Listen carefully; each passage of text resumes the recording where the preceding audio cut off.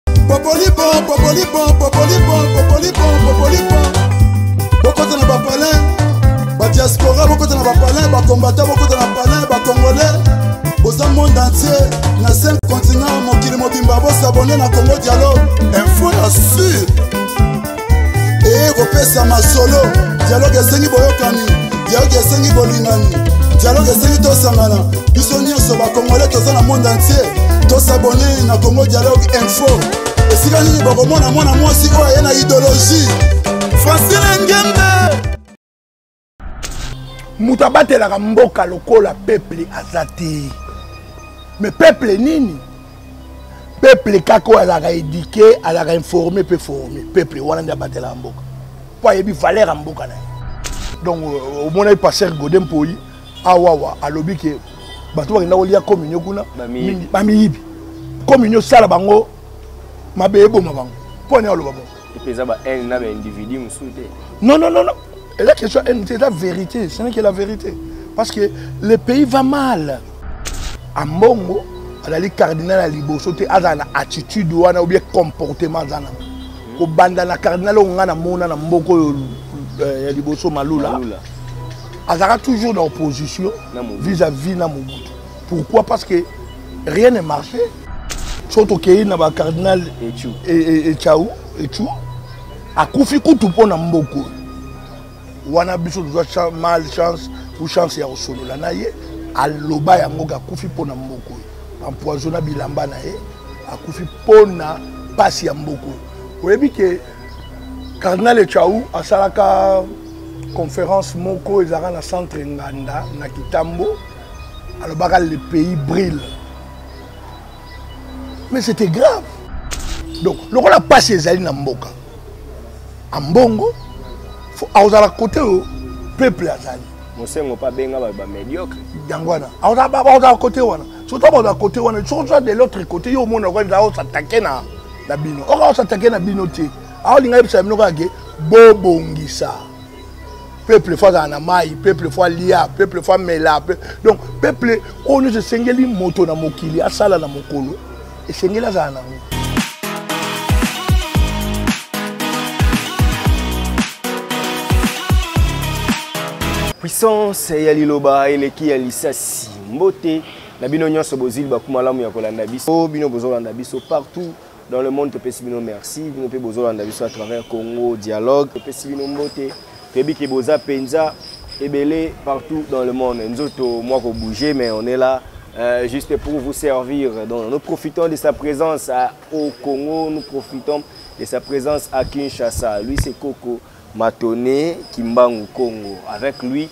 tobetaka mpenza masolo ya mboka masolo ya mboka lokola toza na ye toprofite tozwazwazwa ye nanu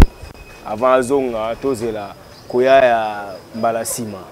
koko matona aza na biso tobeta mpenza masolo surtout ya sécurité ya mboka na biso masolo ya social e tozokende élection lobi seni ayaki na point de presse annonce azoaffirme kaka élection ekozala na décembre faut totala tala babiloko wana nyonso apport na peuple congolais eza nini aujourd'hui comme vous le savez na nga oyo boza informe te je vous informe que selon la monisco après bamarche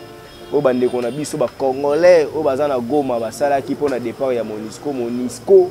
mpo na ye azali koimpose na gouvernement congolais ke fasolola na m23 ifasolola na m23 parce que mpo na bango la rdc n'est pas attaqué la rdc n'est pas infiltré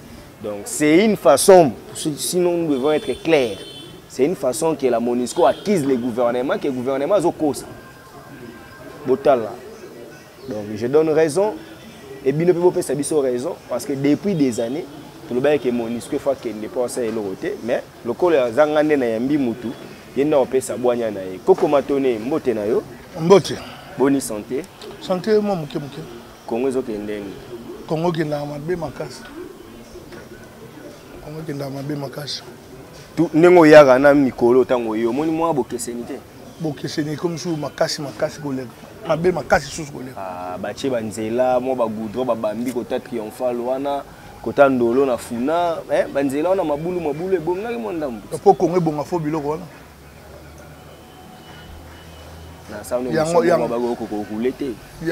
yango te yango te nde motu esengaka eza na biloko nyonso fo etambola nzela moko soko moko eotambola moko etambola te eloko etambola te donc jusque là na congo en tout cas Mambo masobele. Mankaka diaka. Oh, donc mambo kaka donc makambo eza ebele etambola te et puis euh, comme si bapoliticien na biso euh, bayebaka importance ya congo te bayebaka mpe importance ya peuple congolais te mpo peuple yango ye moko mpe toza mpe na bwania te na mayele te yango wana toza na basituation toza na dollar na minute oyo eza na 22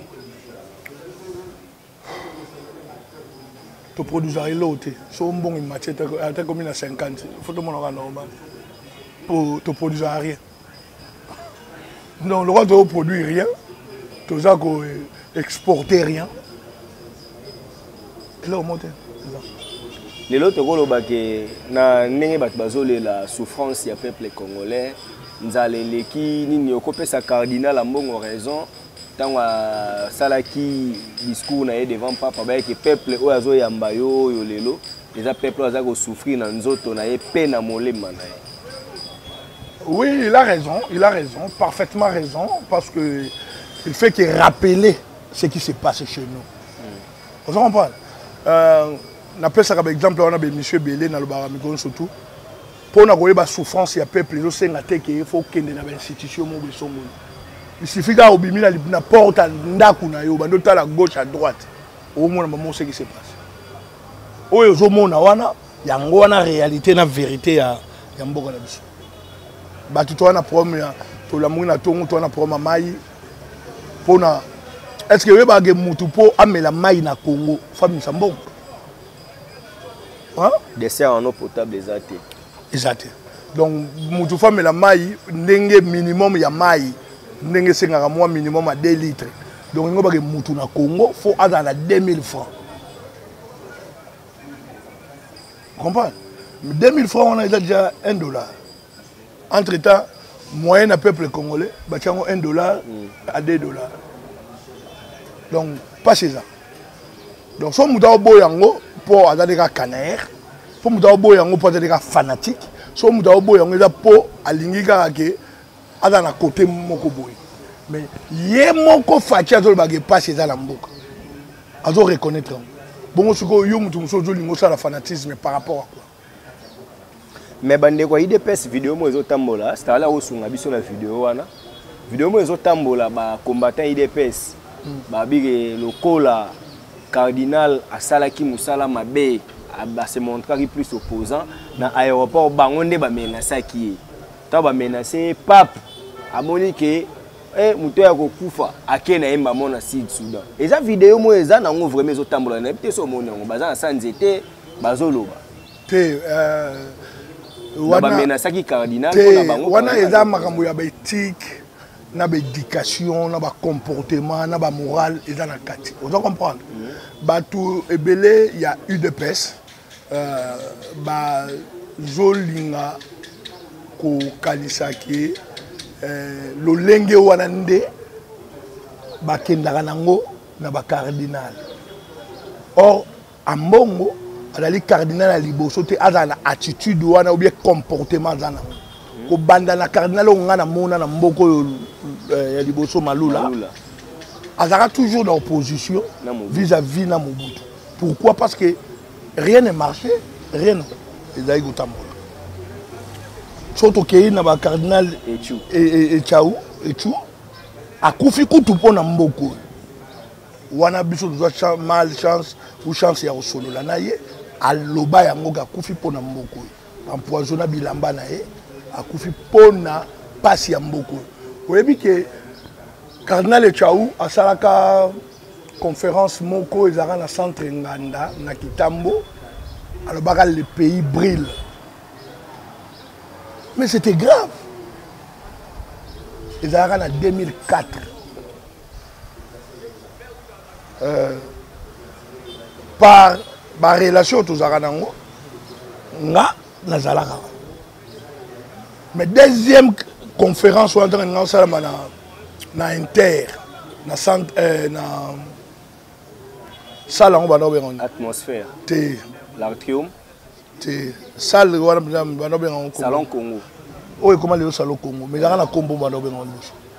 ah, donc euh, efalaki esalama wana deuxième fois esalamaka te esalamaka te mais message était très fort le pays brille et puis balobaki na baartiste nyonso tout bakoka ba kokoma oyo akomaka akoma oyo adesinaka adesine oyo asalaka euh, théâtre asala théâtre musa que le pays brûle basala te baartiste bamusicien bayemba mpe bango aza sponsorise na nini moko na ba ong moko oyo na allemagne banini tout ça on était là comprendre donc elingi oloba ke euh, ezali non elingi oloba ke moto nyonso oyo aza na bonzambe kati na ye alingaka injustice sociale te akolinga yango te amona yango donc lokola mpasi ezali na mboka ambongo akozala kote oyo peuple azali mosengo mpe abenga bato bamediocre yango wana akozala kote wana surtout bakozala kote wana soki oza de l'autre côté yo omona lokola eza osatake na bino oka osatake na bino te aolinga yebisa bino kaka ke bobongisa peuple fo azala na mai peuple fo alia peuple fo amela donc peuple oyo nyonso esengeli moto na mokili asala na mokolo esengeli azala nango lelo institution famille ekufi na congo likolo ya pasi tata ayebanaka te mwana ayebanaka te mama ayebanaka te na nzela kulutu na baleki to koyebana te na mosala travailleur na na nani bazoyebana te mpo na nini mpo mpasi ezali mpo mpasi ezali mpo mpasi eh, endimisaka motu makambo oyo akondima te okoloba makambo okondimaki te koloba mais mpo na mpasi yango na mpo na mpasi bato bakoma bato ya lokuta na mboko oyo mpo na mpasi bato bakoma bacorrompi mpo na mpasi bato bakoma batricher mpo na mpasi bato bakoma miyibi soki oyibi te yuma entre ta bonzambe elingi bongo te donc euh, omonaki paster gode mpoi awawa alobi ke bato bakenda kolia communio kuna bamiyibi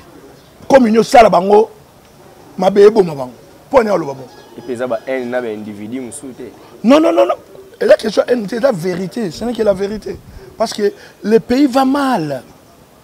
le pays va mal en pire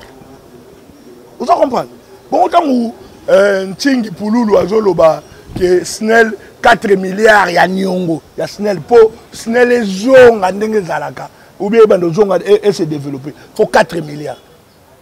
est ce que wana eza haine ya moto ya mabe non mais na mboka oyo bato tomoni directeur ya snel auto oyiba 48 millions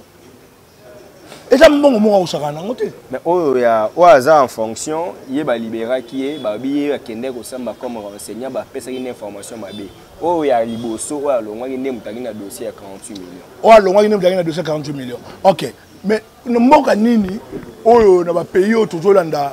bavieille démocratie oyo tolanda baexemple na yango bakoyiba 48 million aozonde entre temps toza na bato mosusu wana na mboko bayiba ba 480 million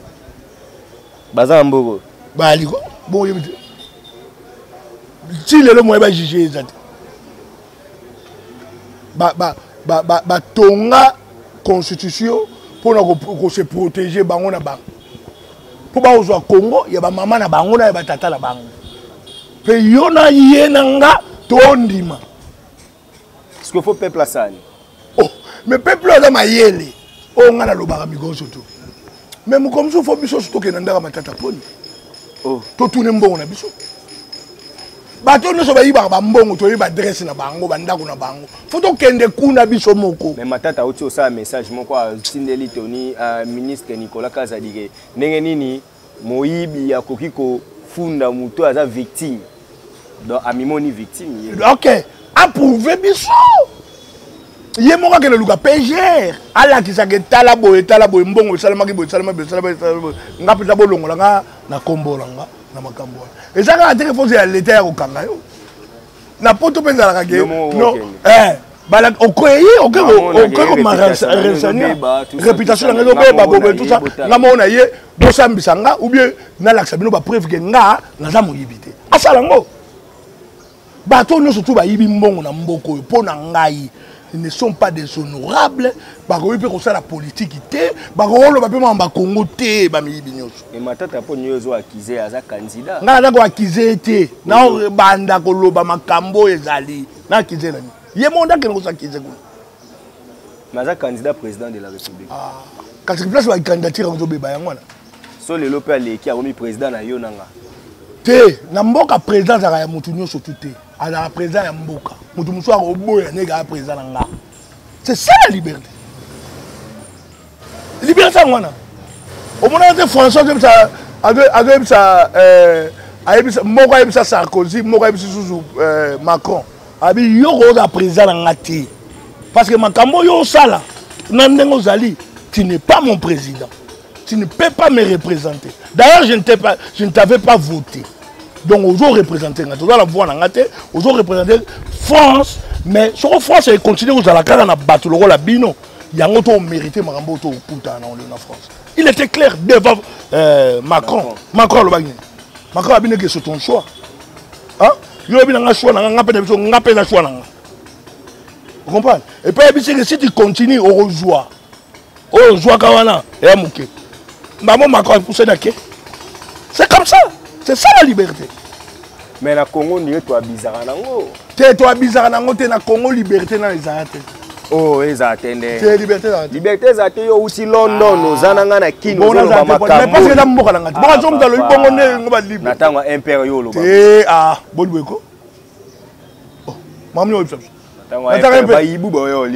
na mboka oyo babenga mobutu moyibi na mboka nini wana deja te oh, mais yo lobi na nga ke natanga impere yanga na bino ke babengaki mobutu moyibi na mboka nini na zairo na kongo te babengaka ye ibu te na mboka oyo mobutu mpo na nini makambo oyo esalamaki bokomolinga boboyo yango mpo tokomi na epoko babenga mobutu ngai afe ngai ti lelo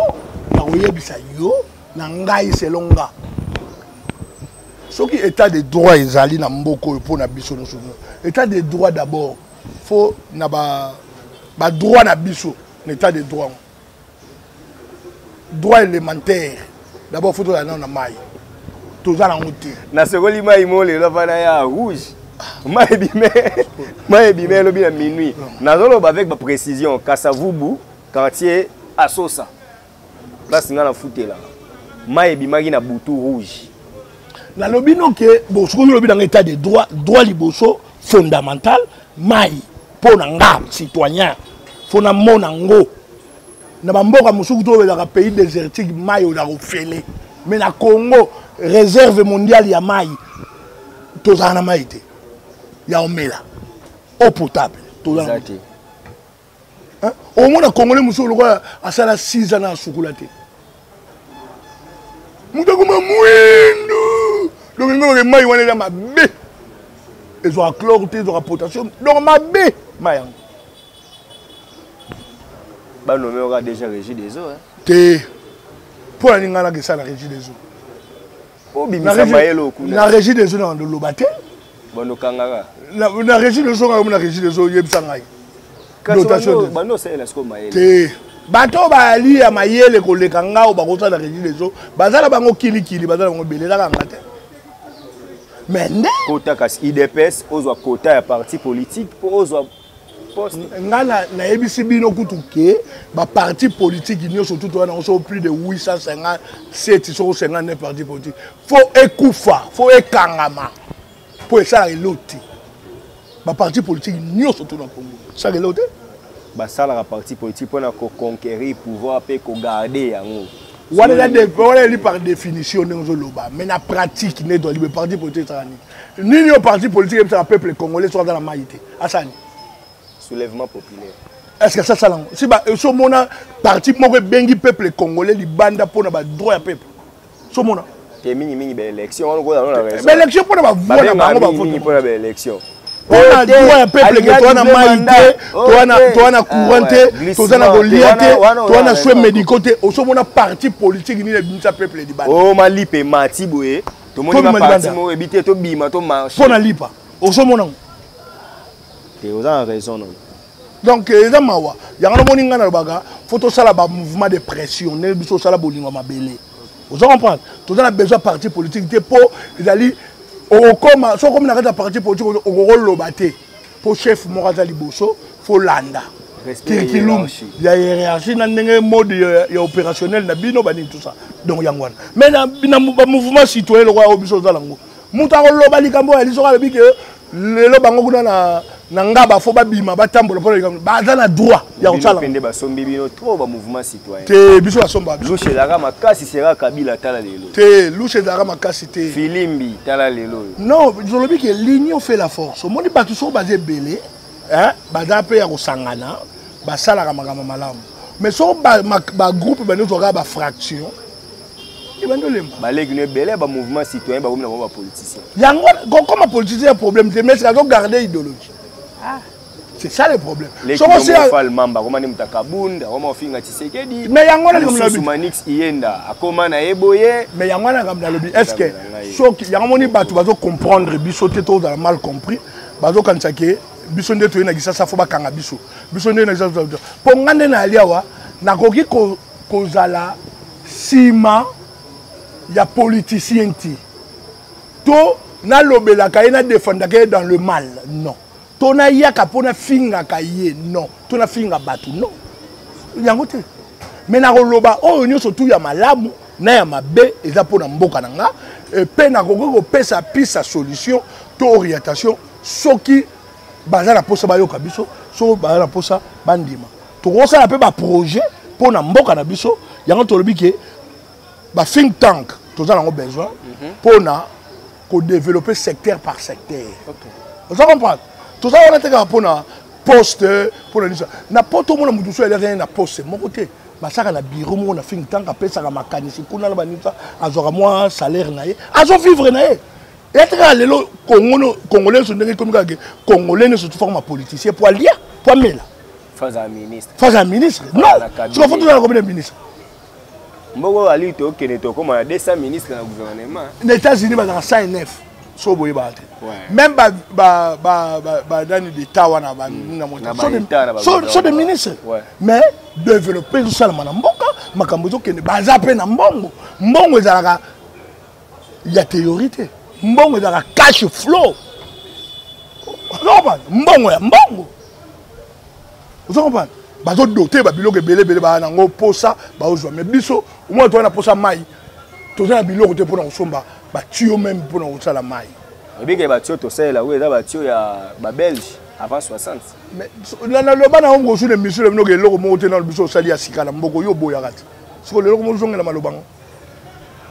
donc elingi koloba ke euh, ba biloko ebele ezali na mboka oyo faut to retape yango mboka oyo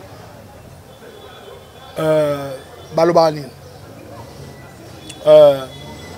nayebaka te banani baza bakonzi oyo bapesaka ba mibeko yango mpo na kosala bareforme institutionnelle mpe bareforme sociale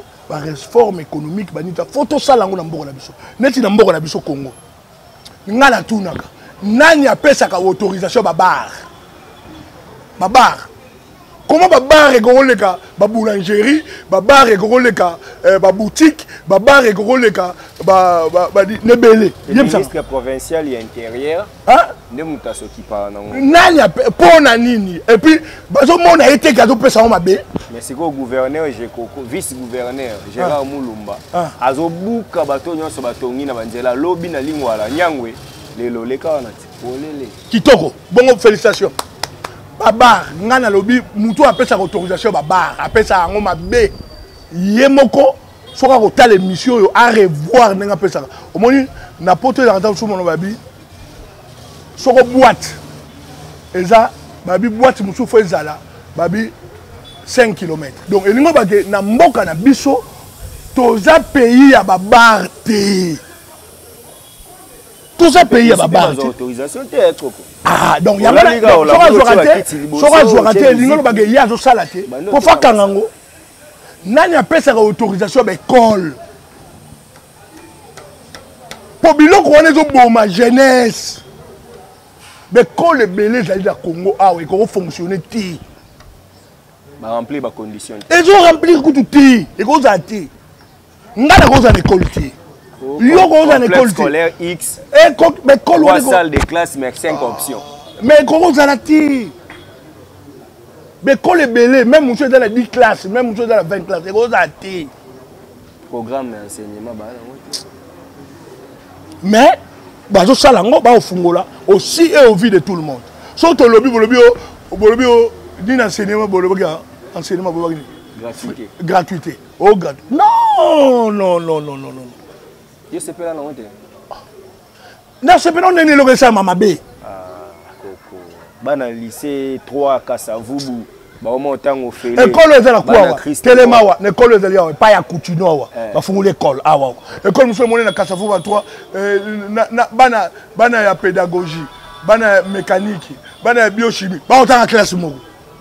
ospika yango ndenge wana bacours d'ensemble bakangaki yango na menera toge ah, akangi ekolo yango na bongandanga ah, akangi yango akangi yango pwani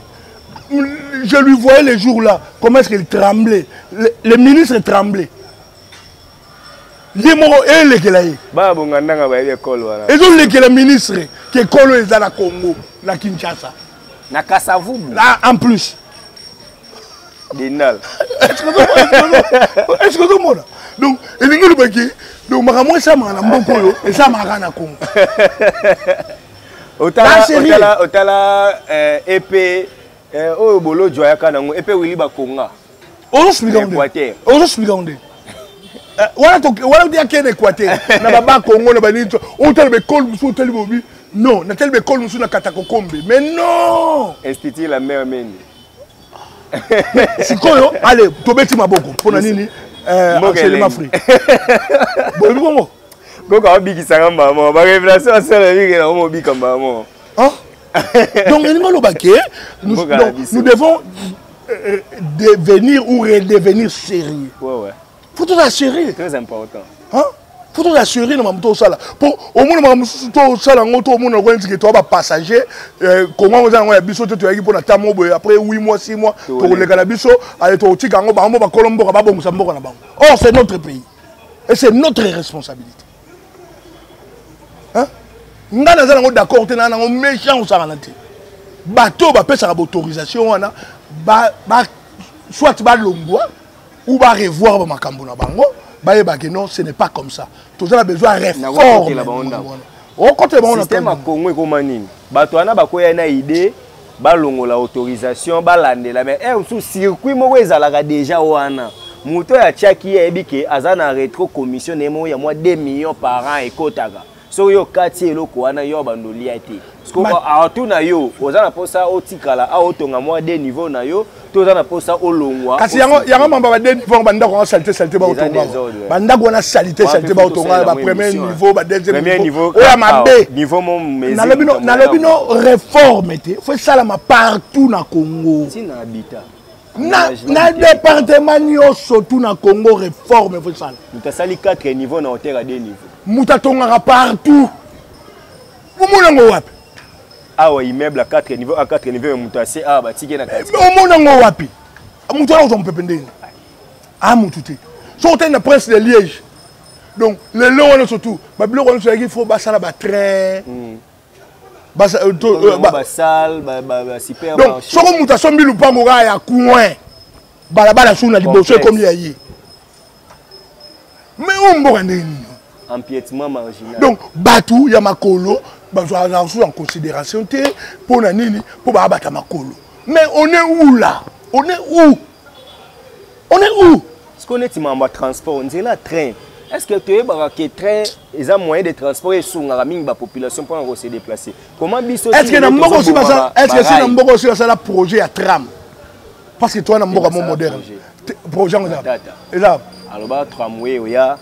après après ekoya wapi kasi na congo ti akendakoyebiso boye ngai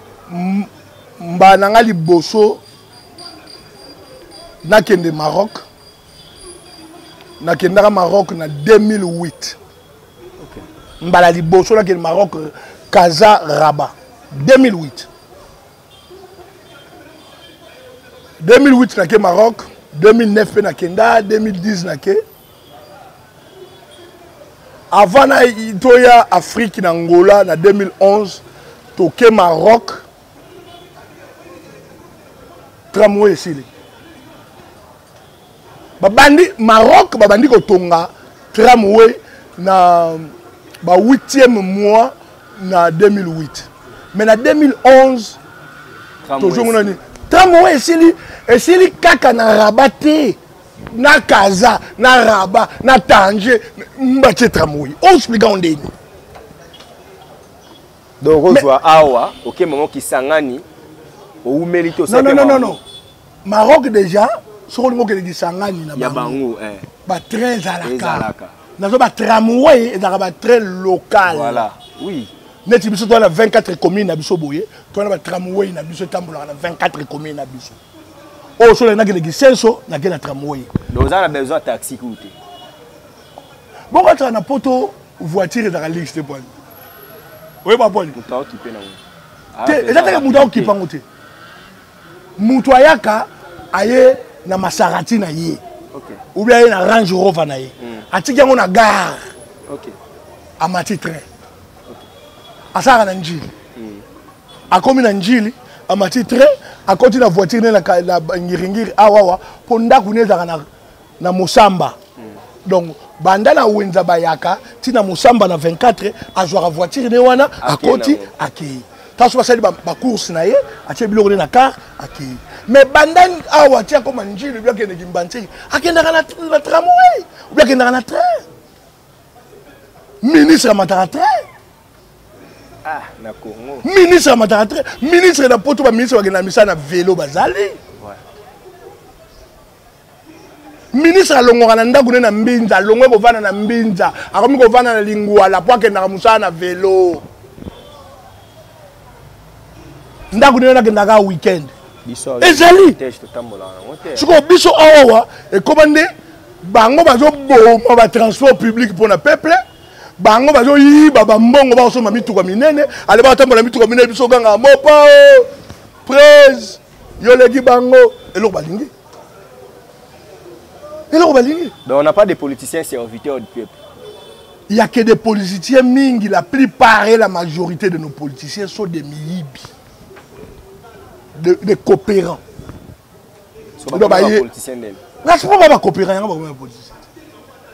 epuis bango nde bolingaka mingi bacongolais bino bolingaka bango mingi mpo nasi na bisa bino mokolo biso moko peuple tokokoma kotelemisa bango na nzela kotuna bango mpo bazalaka accountable te bayebaka kopesa compte rendu bango nyonso tu omona, omona pre département moko te na mboka oyo bande banda il paraît ke moto anda osala makambo wana kaka président kasavubu na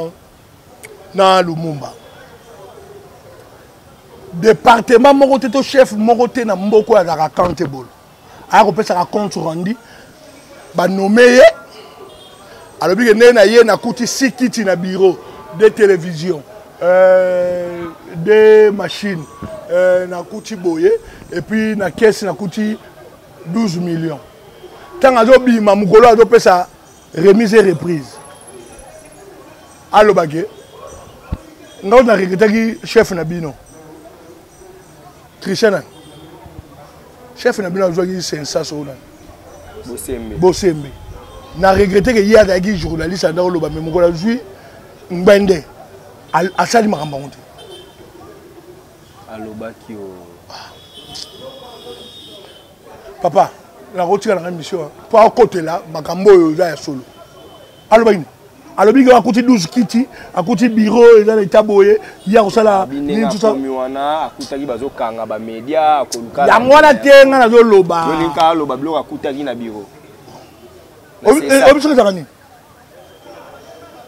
état de lieu te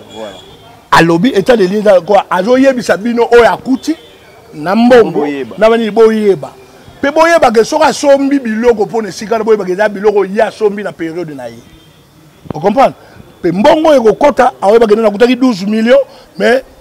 ntango ngai nabimi natiki 17 million donc elingi oloba ke epuis tosali baréalisation na biso tosali eyali boye na boye na boye na boye na boye c'est comme ça ezalaka na poto ezalaka bongo epuis na poto so balingi banome oyo na poste moko songolo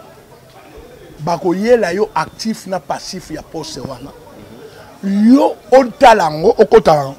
en connaissance mpe oyeba eloko nini okoki koaporte soki osali exercice wana nde bakondima ke moto oyo so bapesi ye poso oyo asala yango bien oui sikoyo oyebi nini moni émission tokosala en tout cas nayebi so vérité émission eke bien fort mais sikoyo ngai 40 pourcent ya esterli 40 pourcent ya public na biso ya chaîne na biso ezala bakinois siko bakinois ti baomono boye na ndenge afo te baoseka ata ti mpo oyo diaspora mpe balobaka boye trop mais diaspora baza à 70 pourcent na présidence que de détournement azopesa biso ba leçon awa bien po aza na poste te bazwi ba ministère awa que le détournement donc diaspora lelo ondire alisu na leçon te ya kopesa ba congolais oyo tovandi na kinshasa po ndambu oyo oyo bazwi bokonzi bazali prédominant na bokonzi mais basali kaka mabe mingi oyo ye moko mokonzi amonima ke il faut lelo abanda konettoye cabinet ifo asala boye c'est parce que la diaspora congolaise oyo bato bayebaki batangi libanda oyo mpe misusu babetaki toloke batanga na bapeyo basombaka badiplome te mai na pratique basali te oyo tokokaki kozela ke bato na biso bakendaki kotanga libanda bayekolaki mosala libanda basala mpo na mboka bosali yango te donc na crisifie yo na bango mpo makambo ozoloba bato baotala yo babi azoloba ne bien mais so bapesi ye responsabilité est ce que akosala lokola bandeko oyo matondo euh, balobaka ipare ngulu moko afingisa bangulu nyonso muyaka moko afingisa bayaka nyonso so bakinois bakoloba bongo baza na raison okay. parce que bamoni ke quelque part les bien hein, les diaspora a échoué et soki a échoué te mais alakisi balimite soki balacune na ye okay. mais la diaspora oyo tokolobela eza diaspora nini okay. la diaspora mpe eza séparé mais ezaka kaka bongo depuis la nuit de temps okay. comprendre soki omoni na musala bayebisi biso meme bozalaka ba camarade hein so boza na musala faut so bozo yeba te rôle na fonction ya moko na moko il y aura que des bêtises séparation des pouvoirs ouais oza comprendre mais problème ezali diaspora ezalaka mpe kaka moke diaspora ezalaka kaka moins de 10 pourcent sikoyo soki bokabola yango na basecteur oyebi nayebi te soki okozwa combien de pourcent opesa na présidence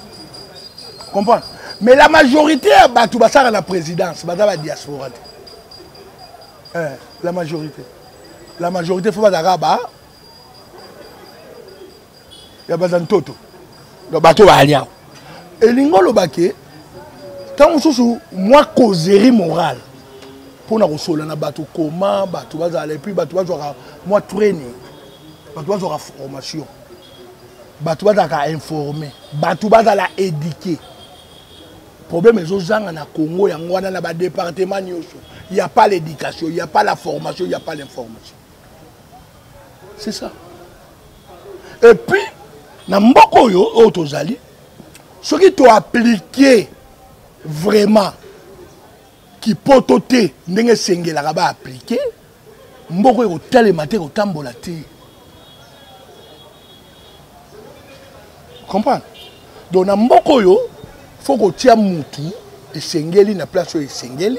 epuis mutu wana fo baveye na ye fo bayeba ke non euh, ingénieur sarli lema abandaka mosala 7h30 mais fo akoma mosala 7h30 te ma fo akoma mosala 7h10 15 juste mpo leta achange teni uye leta amela mwa ti leta asala mwa nini sa azala lesc'est comme ça biso batangisa biso bongo mais okomonake na mosala na mboka oyo mosala ebandaka 10 heures chef ye moko kutu akomaka mosala ye donc fali ya midi na ndako na ye 13 heures ye wana bandi koya bakoleka mpe biso ape gironfort makasi makasi ya mbuteyage atie tapage mais aza na retard Côté ah. wana na felicitaka matata pona discipline. Malgré nyonso toko reprocher mais musala ne bando banda 6 heures juste. Ce ministre est en retard 10 minutes au côté. Vous comprendre Bon, na yebi te to monaka bata rigueur makasi na mboko lokola bakengo ba dono. Voilà. Vieux Kengo. Ah. Les modèles na rigueur. Vous comprenez Sikoyo boyebaka pe loko wana. ke bato bazali ebele ya modele wana mais baande libanda baza mpe libanda obie baosala me bokomona bango te mpo aza chef te baotya ye ka te me bato wana baali il y a des hommes intègres na congo ngai na ndima yango il y a des hommes intègres il y a des hommes honnêtes na congo bazali même ata lelo ndenge toza boye bazali ebele me moye bomona yango eza te mpo bali mélange na kati ya bourdubu mais soko ya bien lilala moko ya mabe ebebisa malala ebele ekomi lokola modèle tokomi lokola prototype moko boye bacongolais balakisaka congolais moko ya moyibi congolais moko ya mabe eza lokola ndenge bamupe ntango bayaka yaka liboso balakisaka ke mutu mwindu nyonso tu satana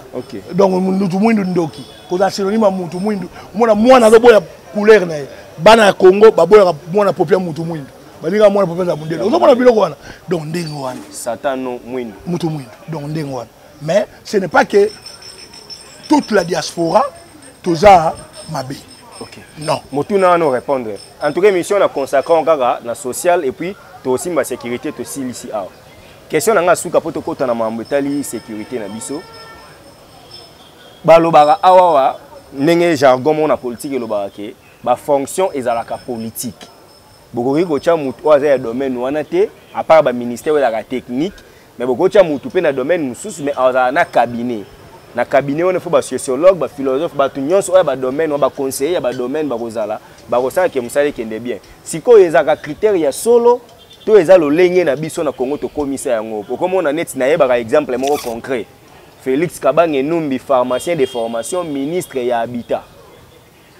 tomona yango na mboka autaka mpe na sante eh, autaka na sante hmm. après bakei ye na mambo ya baaménagement du territoire ah. te ezala nango mabe te te wana eza nango mabe te mais eza nango mabe te mais problème ezali résultat ah, okay. eza mabe te mais résultat nini outcome ezobima nini okay. yango mo likambo na bano likambo ya bafing tank voilà. okay. so outcome ya bato baleki baprédécesseur mm. eza c'est bon mpo na congo c'est bon mais soki eza bien te mpo na congo fo kotika yango okay. comprendre donc bakotyaka bango moto ya domaine mosusu mais asala bien balandaka yango balandaka na poto mpo na poto toza na ba plus de 100 ans ya baexpertise na baexpérience donc lelo lelo na poto bakozwa congolais moko batye yo ministre ya ya éducation oyebi kozala mambo osala te kuna ozaka na mambo peut-être ya kocontrole ya kosuivre badossier na bacontinuité continuité mais oza na mambo oyo ochange te parce que des choses sont établies boye les odd bayebi ke biso na 2030 fo tokóma boye fo tosala boye yo ozocontinue yango kaka ozocontinue yango mpe bayebi epuis bayebi ke o oh, neti oyo oh, bayebi ke fo bachange basinga ya courant euh, neti euh, mikolo oyo naliti na angleterre na ba septembre octobre 2022 bachangeaki batio ya ba ya ba ya ba gaz mm. na ba lopango nyonso mm. yo oyeba te bokozwaka ba ba notification ba lettre ke misala bakosala na mikolo boye na badati boye na bandisi ya bakote wana bato bakoti terrain babandi osala epuis ntango basala yango eza teke moto akozanga gazi na ndako na ye te donc ntango bakosaki daye batio basinga ntango ekomi kaka koraccorde place wana okomprendre te so bakangi koto bakangi koto to bakosaka eloko wana kpakpa yo kutu osentir te loba mpe soko bayoko olamba omonaka moto ekati mais soko soko ozongeli opele omona opelisi mpe moto epeli oza comprendre c'est comme ça awa mpe période ya mobutu période moesalamaka tomonaka sadelmi ekojepi ebanda kochange batio ya banini maintenant ochange mpe banini na mai c'est comme ça makambo fo ezala makambo nyonso tu ezalaka périodique et puis fo ezala étatique mpo na surtout na babiloko ya, ya, ya public question directe soki lelo mokonzi na biso faci beton alobi nayebi olinga te tobenge faci beton obiaa omona yango moko mesana namona yango komesana yango wana ekomi mpe buzoba président président félix abi ke matone aza na mayele naa na mposa bato ya boye pembeni na ngai abi matone domaine nini bakoki kotya yo okamba mboka ezala ya moke ezala ya monene mai yo moko omonaka koko servir mboka oyo wapi biso na par formation tokoservir partout okay. mpo euh, na baformation toza nango tokoservir partout mais euh, yango nde te motu eza kaka nga te mpo na kosala nga ngo te yanga na bino ke fo bato na basecteur nyonso tu bato tozosala mpo na congo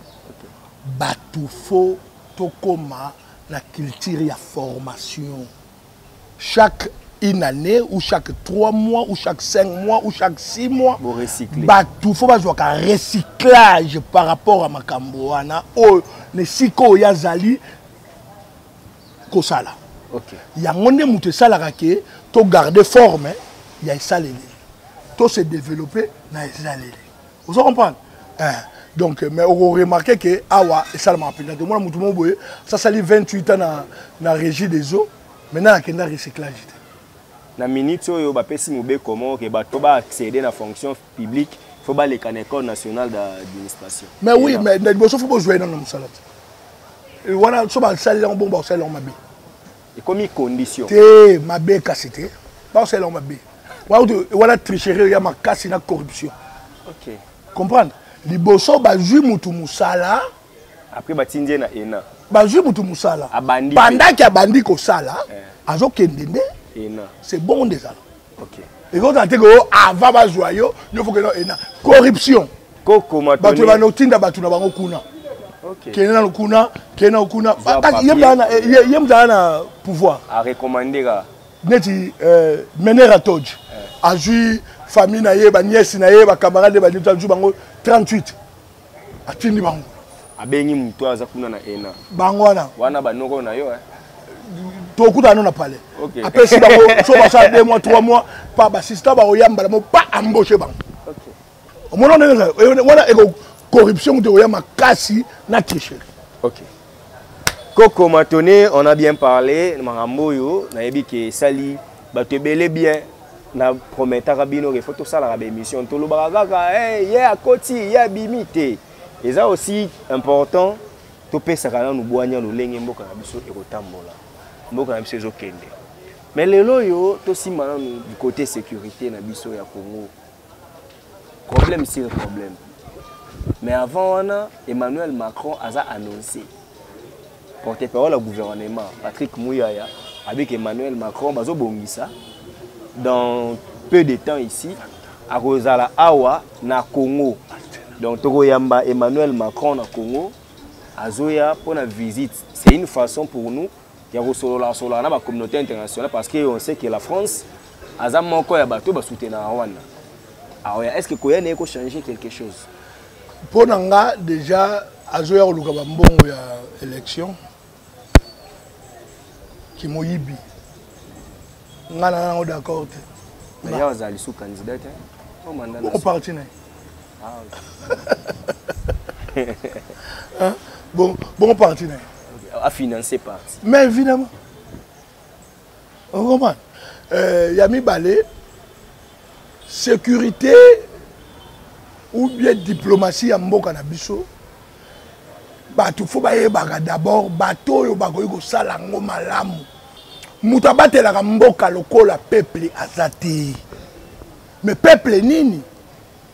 peuple kaka oyo alaka éduqué alaka informé mpe formé peuple wana nde abatela ya mboka mpo ayebi valeur ya mboka na ye bagomatracien bakendaki kobengana monisco misato bakufaki mpe à leurs âmes c'était le mercredi euh, okozwa kutu une minute de silence mpo na bamort nyonso tu ezosalama na kivu na periode oyo nyonso tu mpe na congo mobimba parce que mpo na ngai occupation ezalaka partout na congo Euh, tokozwa une minute ya silence mpo na bango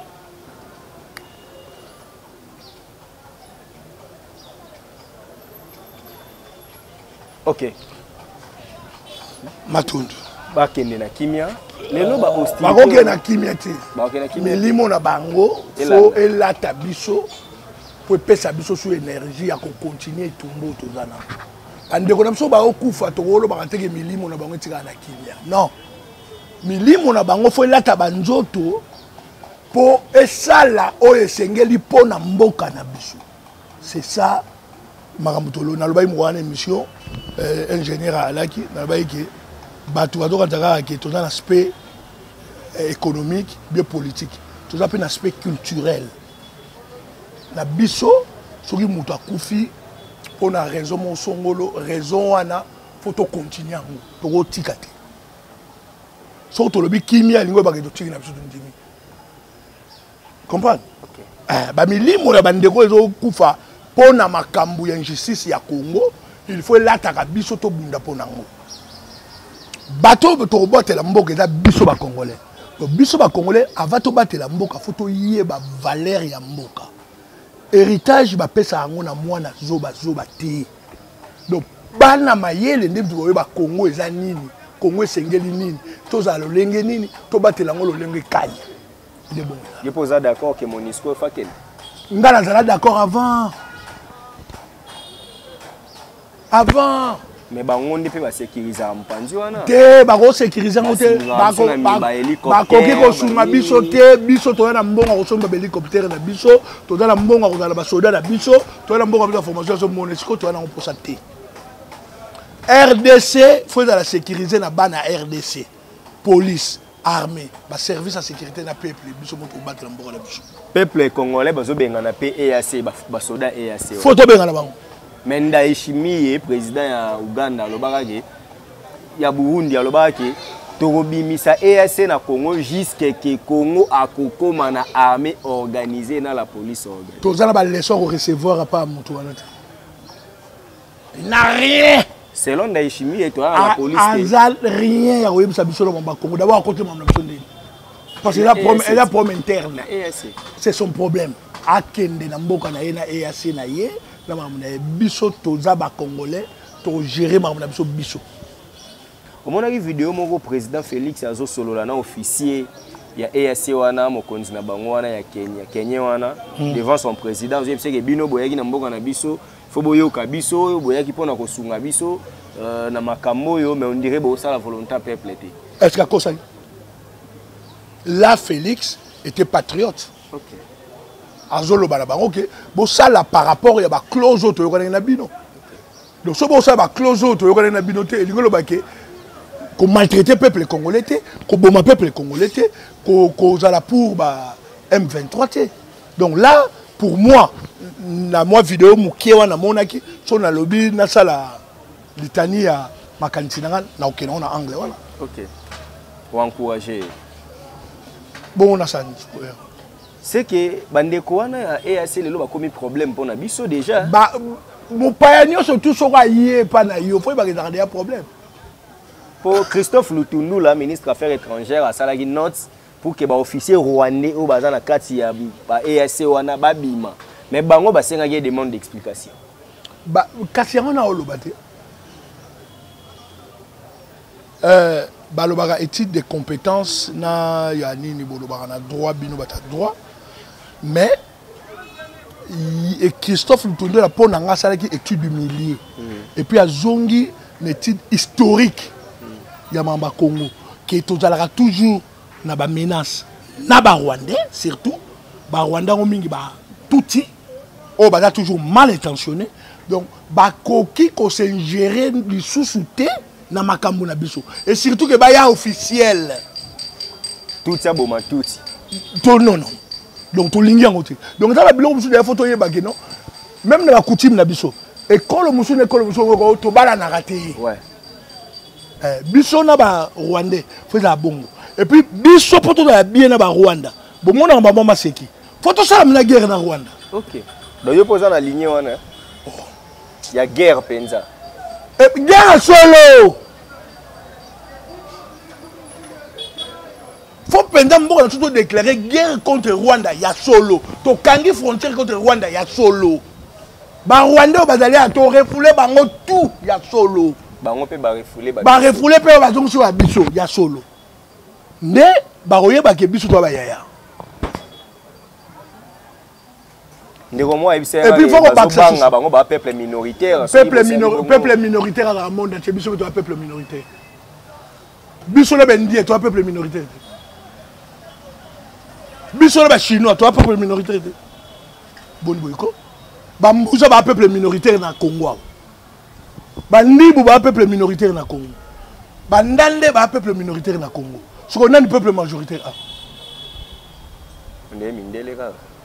majoritaire na congo te na mokili ondire kaka bango ti te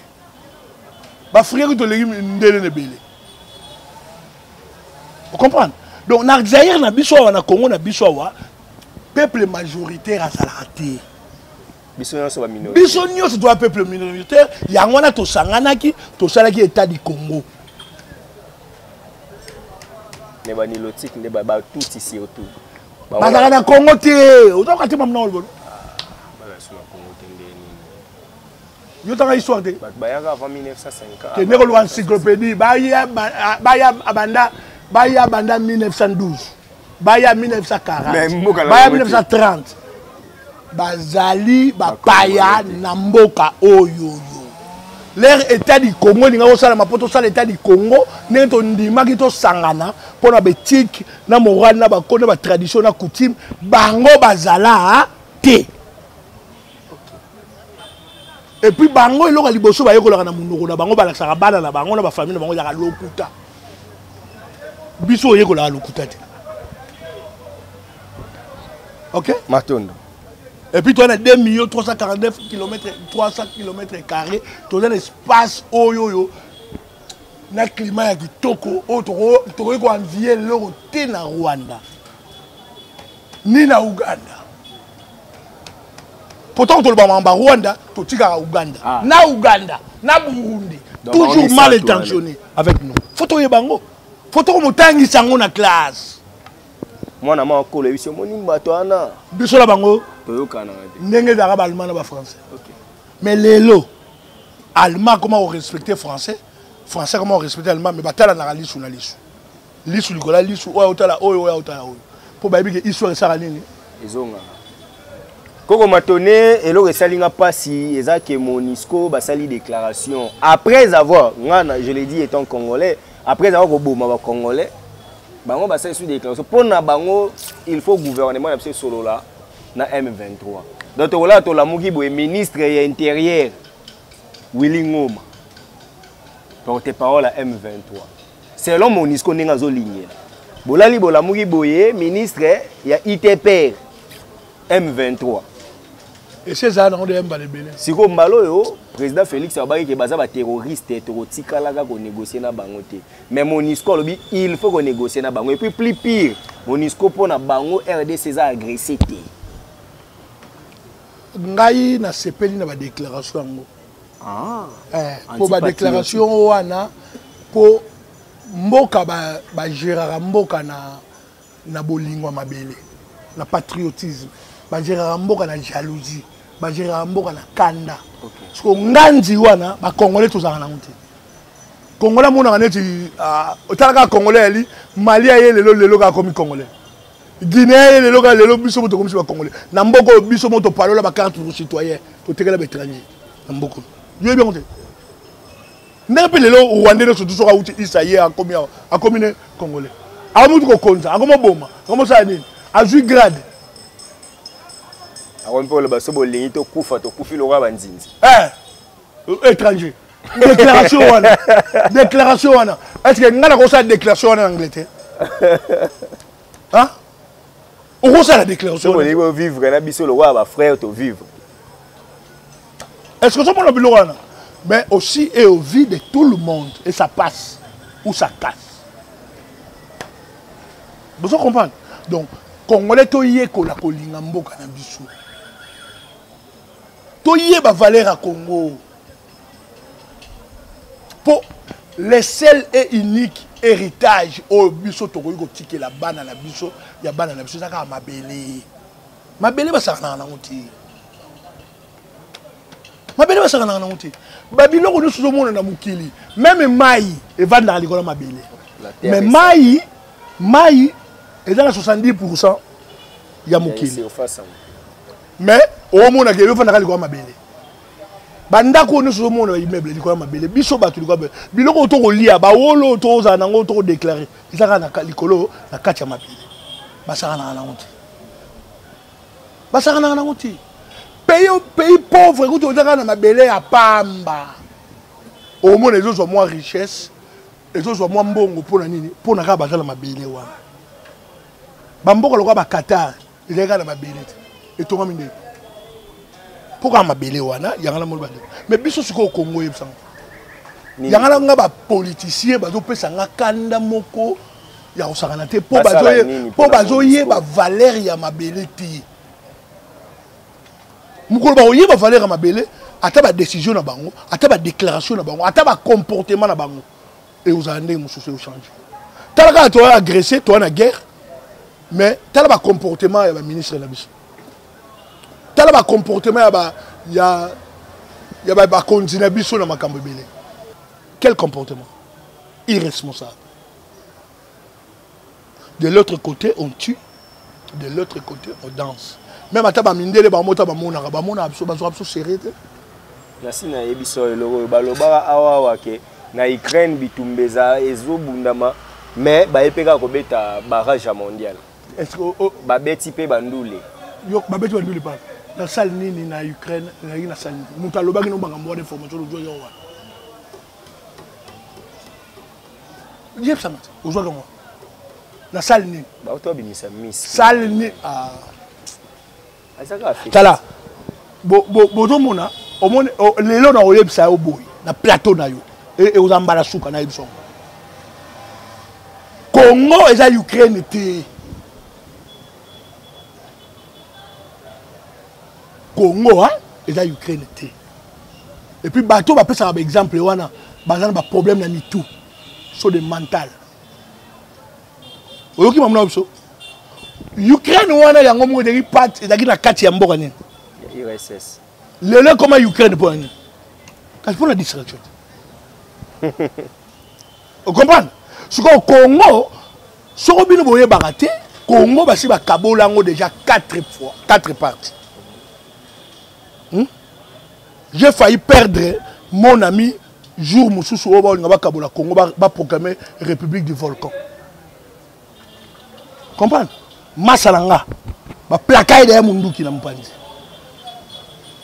sikoyo makambo yango aloko eza spirituel nzoka nde deja balie ye deja donc mpo babine deja alobela oyo te abouge te soko abouge ke sikoyo nde mama yango azala spirituel sikoyo tokoya nga sikoyo nabenga ye sans que nayebaka aplake masanga alain sale okay. banga abomi moko wana oh, alain sale ouais.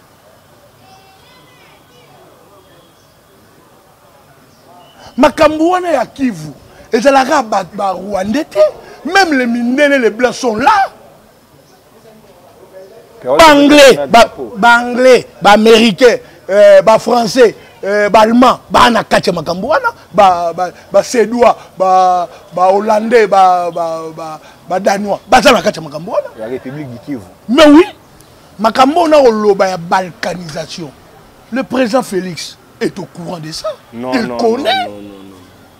ayebi yango parce que azalaki combattant okay. avec nous ah, en europe okay. Okay. il est bien informé ah, là je comprends oza comprendre mm. aza bien informé aza combattant kaka ya kisasa te ya bilobaloba ya kofingafinga bato ya kolobaloba n'importe quoi non makambo oyo tolobaka balkanisation ya congo eza ya solo oyo bato ya udps mosusu na bato mosusu ya baparti politike mosusu entre autres le journaliste comme eliezer banani bandaki koboya biso tolo balinga babalkanisation ntango tolo balinga babalkanisation na occupation bango bakoboya babi todemontre place drapeau ya rwanda ezali donc mpo na yo congo bakabola yango deja 4 me bakabola yango deja bapapie yango ezali ezali te ok mais ezosimba te mpo na nini mpo na kaka eveil oyo ezwa bato ndambo oyo tokotelemela bainstitution mpe bato na kivu balingaka kutu te mpo le kivusien na batuti ezala kopesi mbwa mbwa ah, ah, aboyi soki bakivusien bazala bacomportement lokola ya bakinois nde kivu esekenda esekabwana eh, eh, balanga na besoin kivu te katanga fo ekende kote nango na nini oyo fo ekende koto mpe ya west etikali koto oyo na nini problème na bango yango wana sikoyo yango namoni biso tolaka contre même ndenge basala découpage na bango ya 26 province mpo ezalaka mpo na kofragiliser baprovince mpo bazwa opportunité na espace yango wana fo tozonga nde toyaki na 11 province nayamba combattant moko ya belgique na 2018 aloba na nga likambo fo tozonga ndenge wana ozo comprendre yango wana omona yebi soki peuple moto abatelaka mboka mpo na nini na efficacité wana tokopesa peuple ba vraies informations peuple akotelema par rapport ya ba vraie information wana émission oyo tosala yango kaka nde tobanda kosala bachapitre ya papa ngbanda ekozalaka mpe ya sonam omoni omoni eh, prophète ngwanda eh, nzamboko ya tumba ah, makambo ebele alobaka bato ebele bayebi ngai nakoma kobenge prophète mpo so nasoli na vie wana eh, nalobaka na bakombate ebele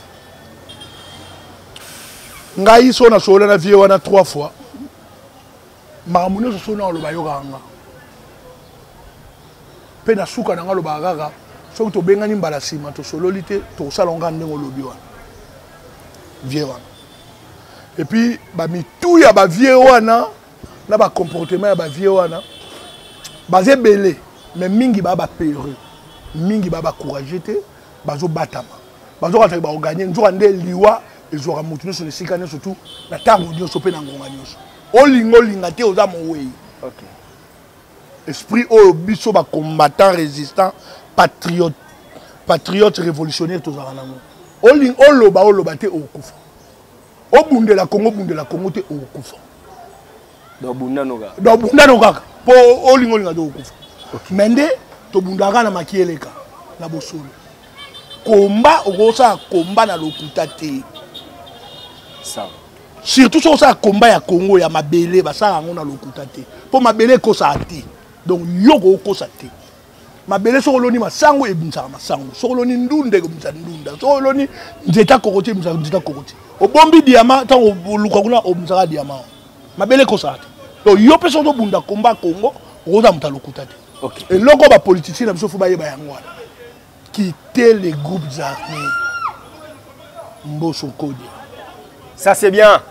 Je pense que aussi ici. Aussi ici. Aussi ici. Télévision, hein. ezalaka temps bongo makambo ya kongo makambo kongo mpe ezalakayozela nano chapitre nini